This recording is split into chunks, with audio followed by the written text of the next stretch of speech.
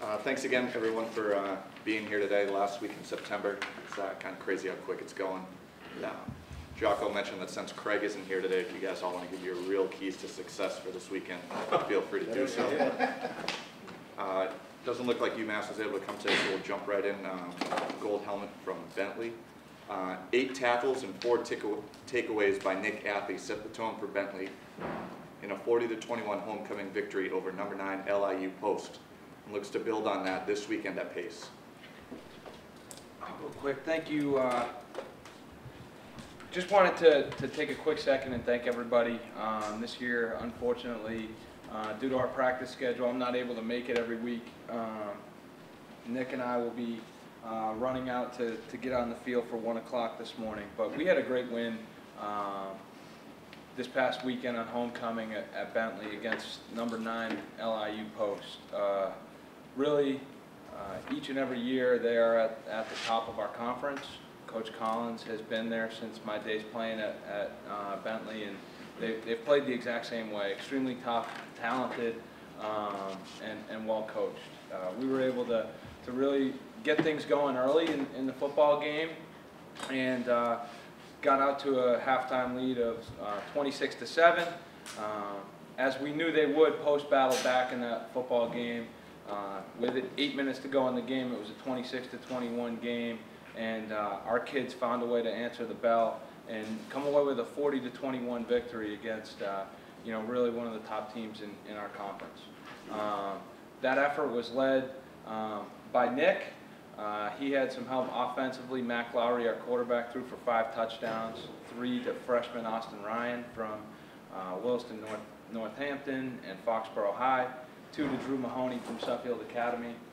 Um, but defensively was really um, where we stood out in this football game. Uh, it was a it was a team effort um, led by you know our leader on the defense.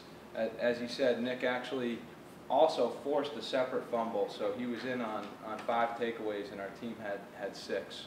Um, Nick's stats in that game itself really speak for itself. You know, to be able to, to be a part of five takeaways against an offense that's putting up close to 50 points a game is, is really special and, and led to our win. Uh, if, if they kept stats on, on discipline, preparation, leadership, and consistency, Nick's stats would be much higher than that. He's a, he's a phenomenal kid and uh, uh, really the leader of our football team as a junior. Uh, really pleased to be able to announce uh, Nick Athy as this week's gold helmet winner. I just want to thank the New England Football Writers Association. Um, I feel honored for this prestigious award. I want to thank the Gridiron Club of Greater Boston for the sponsorship.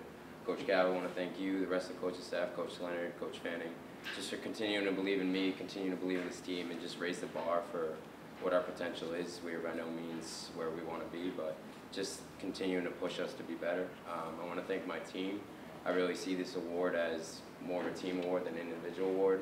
Um, a lot of times in football, it's 10 guys doing the job, and then that one guy's there to make the play that gets all the praise and gets all the support, but it's really a collective team um, making those plays, and that's, that's what it was Saturday. It was a great win, great team win. Um, we have another great challenge ahead of us this week, playing a good football team up in New York, uh, Pace.